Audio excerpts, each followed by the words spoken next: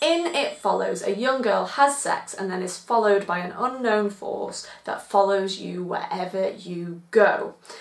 It Follows is like a really long bad public announcement for STIs. Teenagers roam around like the Scooby-Doo gang investigating the issue at hand, only to be told the same repetitive dialogue. Just in case you couldn't get what was happening, it will follow you! Scooby-Dooby-Doo, where are you?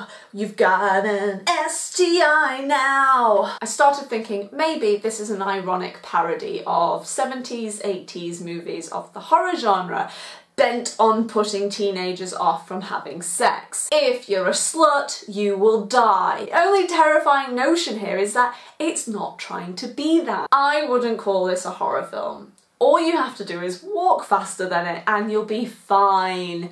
Just don't break a leg. No scares and no atmosphere.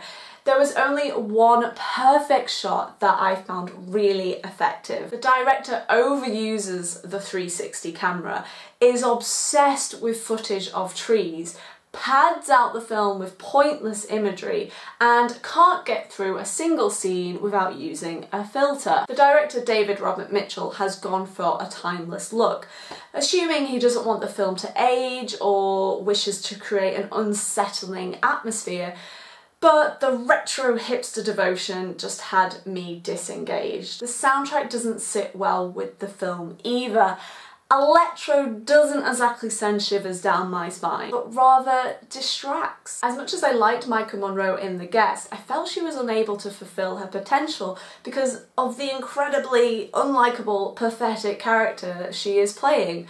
Something is following you, so you run upstairs instead of out of the house, sit on a swing in the dark, sleep on the bonnet of a car in a forest feeling sorry for yourself. For a modern horror film, I'd like to think it could have moved away from these feeble stereotypes and give characters a kick up the arse when it comes to survival instinct. Originality has gone out the window here and Mitchell has done what the film title states.